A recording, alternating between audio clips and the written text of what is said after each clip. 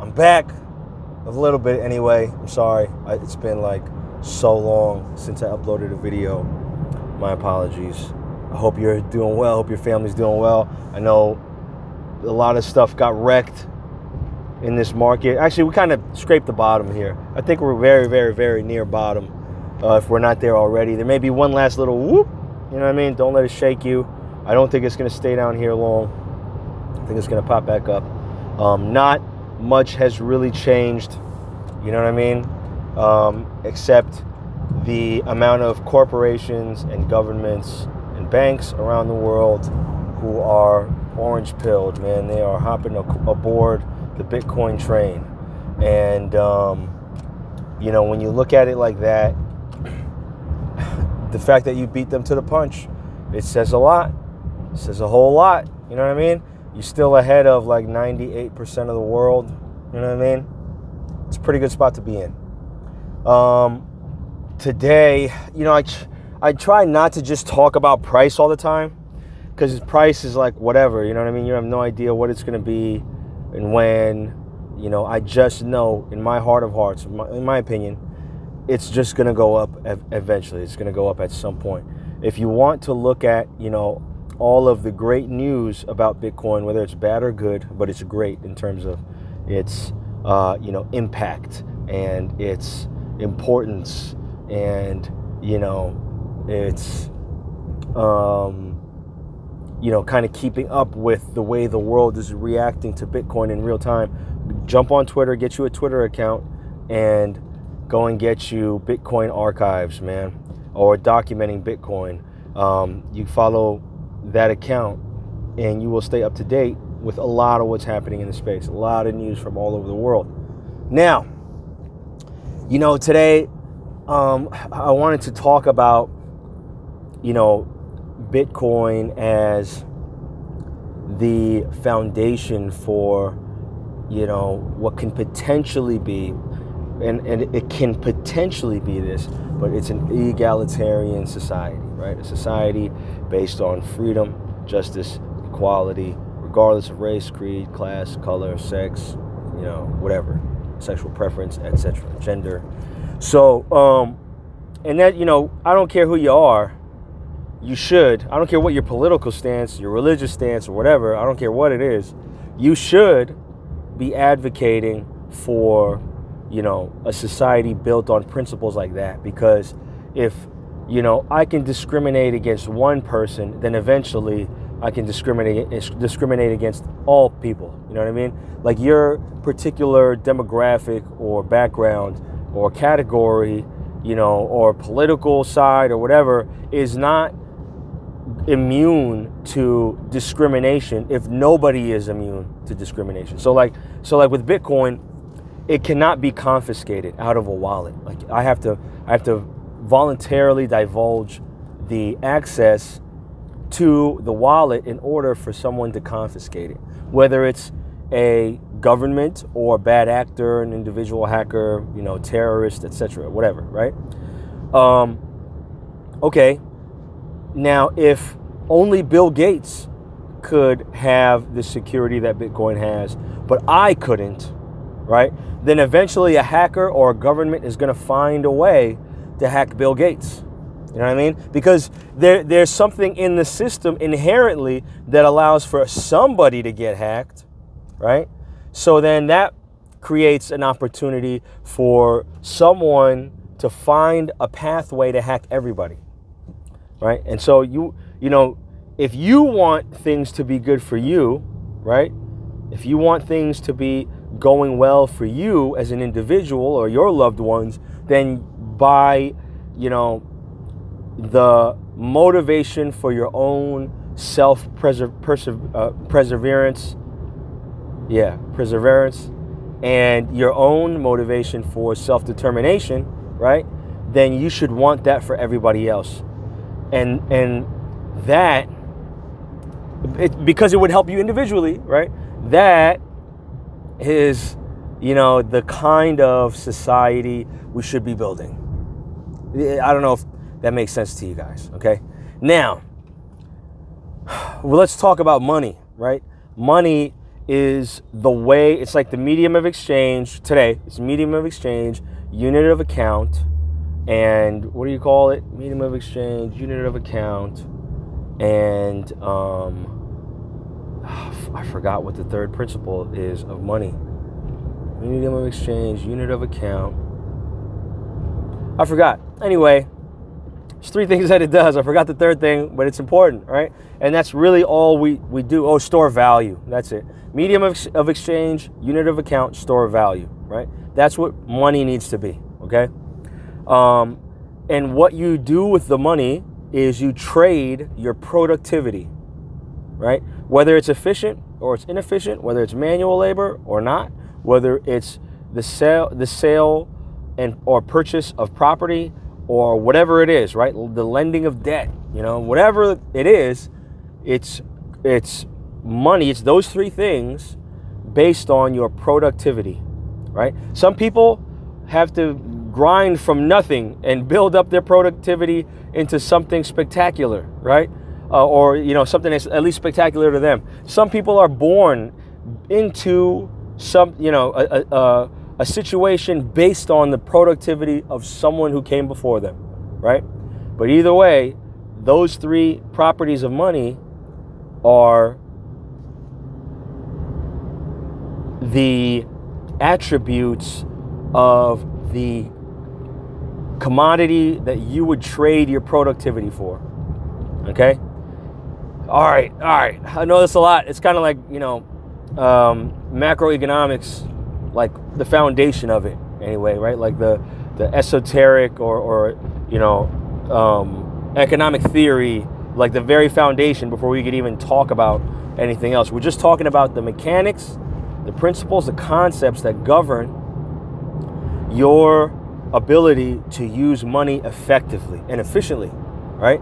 Now, throughout history, there have been many uh, types of money that have been used to be a unit of account, store value, uh, and unit of account, store value. Oh my gosh, I can't even, I can't even uh, remember what the third property is. I, why can't I remember it? I can only, I can only remember two at a time. Unit of account, store value, and medium of exchange. Right? Okay you know, it's been seashells, it's been tulips, it's been shekels, it's been gold coins, copper coins, it's been all kinds of stuff, you know, gold itself, platinum, uh, diamonds, you know, jewels, whatever, right? All of that, you know, all those different ways of doing that are only for me- uh, measure, you know, store value, medium of exchange, unit of account, for the basis of trading for productivity. You know, you can argue for things like the barter system, right? But let's say like you basically have everything you need, right? Then you say, well, I, won't, I don't, I don't want to work anymore, right? But what if you want to get more of what you already have? You know what I'm saying? Like, all right, so if I want more land, right? Yeah, I could raise all raise more cattle and trade the cattle for land. I could do that. You know what I mean? But what if I want to keep the cattle too? What if I just want more of what I already got, right? Then I can trade my productivity for money, right? I can take something that I have an excess of that I don't mind trading, you know, for money, or I can trade my manual labor or my time or my intelligence or whatever, you know what I mean, my talent for money. And because I can do that, that allows me to, um, you know, acquire more of what I don't have, right? Or more of what I already have, something like that, whatever, right? Okay, now, here's where the problem exists in all of the systems where we've tried to use a form of money is that the people who create the money, the people who create the money, you know, essentially ruin the store value in most cases. That's the most popular one, right? You know, sometimes they ruin the unit of account where they mess up on the ledger per, intentionally, right? That's keeping track of how much money or how much of that, yeah, how much of that money, whether it's seashells or tulips or whatever, or money or dollars, you know what I mean? But they keep track of that money. They messed up the unit of account in their favor, and now you're down less money than you should have, and you have no recourse, right?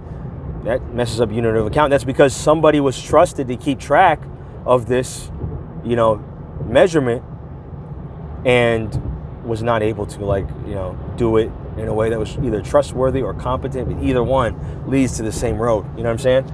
Um, in terms of uh, medium of exchange, you know what I mean? When you look at countries that are on the brink of collapse, their native currency tends to be the one that gets abandoned for uh, you know in favor of currencies that come from outside of that country. You know what I mean? So in Russia, if, you know, Soviet Union collapses, you don't want, um, you know, Russian, what was it? Was it rubles? Something like that. You don't want that anymore. Now somebody comes in with dollars, you're like, yeah, yeah, I want that. I don't want the rubles. You can keep those. I don't want to trade, you know, I have food and it's only good for today. I don't want to waste it on somebody who's coming in with rubles. I want somebody who's coming in with dollars, right? That's what would happen. You know, you bribe guards with dollars. You know, you you pay your landlord with dollars. You know, you tell him, hey, shh, don't don't tell anybody I'm here. He's taking it. Why? He wants dollars. He doesn't want rubles. you know what I mean? He doesn't want that. His everybody's survival in the way that they trade their productivity in order to acquire the goods and services that they need to live right? Which is mostly food, clothing, shelter. Dude, they want a currency that's going to be, you know, accepted as a medium of exchange, right? And typically, that's the one with the best uh, store value, right? Which is the, the biggest component here that we're going to talk about today. The US dollar, terrible store value. Other fiat currencies are even worse. But today and nowadays, you know, with the with what's happened in the last two three years and the amount of inflation that's been that's occurred, that has created a situation where, um, you know, everything's messed up, man. The dollar, the mechanics of the dollar is trash. It's absolute garbage. Uh, the, the, tokenomics of it is garbage, and uh, you're seeing a mass exodus of people who are paying attention, you know, to, to look for an alternative currency. Now, look, the central component that poisons the mechanics of all those other things I mentioned, right? All those other um, attributes for money unit of exchange, I mean, medium of exchange, unit of account, store of value, and, be, and being able to trade your productivity for something that possesses all three.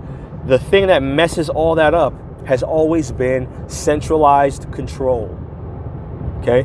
They you know before that we could not have decentralized control because in you know prior to the internet there was really no way of under you know of creating a platform that could facilitate decentralized control. But because of the internet and blockchain technology et cetera et cetera satoshi nakamoto now you have the possibility of uh, a system that exists that does not have one person or group or entity or institution or government or bank or army controlling the money. This is a big thing here, right? And so now that you have you don't have one central group controlling the money, then you don't have one central group taking advantage of their power, uh, betraying the trust of the public, being dishonest, uh, hoping that you don't understand the mechanics of the system that gives them the opportunity to rob you, which is what we're what we're seeing today. You know what I mean? And on top of that, the biggest thing is that now you don't have a uh, group of people, a single group of people, or entity, or person, or king, or president, or army, or bank, or company. You don't have this person's bias to or for a particular group okay, affecting the currency that's used by everyone to trade for their productivity. You know what I mean? And that is a huge, huge, huge, massive foundational piece in order for a society to move towards an egalitarian society, a society based on freedom, justice, and equality. It's essential that you have a, a, a monetary system that doesn't discriminate. What have we had in not only the, the 1920s, 30s, 40s, 50s, 60s, 80s, 90s, 70s, you know, 2000s, all the way up to now? What have you had, man? You've had the ability, and it's been documented, not just back in the day, but even as as uh, recently as like 2015. You know what I mean? Uh, not only banking institutions, but credit bureaus, governments having a bias towards a particular group of people, you know, specifically uh, blacks and other minorities, you know, in terms of how financial mobility is stifled through either store value, storing your money, unit of account. You know, sometimes they're opening up credit cards and bank accounts in the names of these people. You know what I mean? And um, medium of exchange. You know what I'm saying? Um, uh, the the lack of freedom to utilize different methods of exchanges has caused us to rely solely on the centralized authorities' preferred medium of exchange, which they control in, in its entirety. You know what I mean? And so, you know, something like Bitcoin, and maybe it's not Bitcoin, maybe. I don't, th- I don't think that's the case. I think it absolutely will be Bitcoin. Maybe it's not. But I believe that, you know, you need to have a system based on, you know, freedom, justice, and equality, but not because of trust, not because, you know, or this person is so honorable as that they should be trusted to do it. No, you need to build that into the fabric of the mechanisms that govern how people earn, spend, and save money. You know what I mean? And from there, now you can level playing fields. You can begin to build in ways that don't allow for discrimination, that don't allow for, you know, the misappropriation of taxes, you know, the, the, um, you know, whatever, you know, you name it. You know what I'm saying? Like everything that's wrong with society today that stems from foundational um, flaws in the way it's built because of finance, which is, it, it is, you know, finance is like, all right, look, if, if, you know, your brain is connected to your your spinal cord, right? If that's how we're built, let's say society, you know, the things about society that you love is are the parts of your body, it's your hands, it's your brain, your spinal cord, your lungs, your your liver and all that. Money is like the blood of your society. You know what I'm saying? It is connected to and through all of it. You know what I mean? All of it. It's it's perverse through the entire or pervasive through the entire you know uh, system, the entire organism, your entire body, every every single part of it. So you know, in order to fix, you know, they say with trees. I used to grow some plants, and they say when you want to improve the health of a plant, you have to improve the health of the soil. You know what I mean? That's how you're going to get to the plant. And you know, the, the the money is like the soil of our society. You know what I mean? From there, right? Now, if we don't have to worry about freedom, justice, and equality from a financial perspective, now we can start to focus on the social impacts and the societal impacts because now not one entity or group can have the power to discriminate over another one. It's one thing if you think it in your head. Like, you know, there's I've met a, a lot of racist people. I've interacted with a lot of racist people in my life. You know what I mean? And I I don't want to change their mind. I don't care if they're racist. They could be whatever they want. They can think whatever they want. I just want to be able to think and do whatever I want. You know what I mean? As long as I'm not hurting anybody. And I don't want their input and control over what I do. You know what I mean? And I wouldn't want to have input or and control over what they do. We should both have the freedom to be who we are. And so that's my two cents. Uh, thanks for checking in with me and checking out this video. I love you.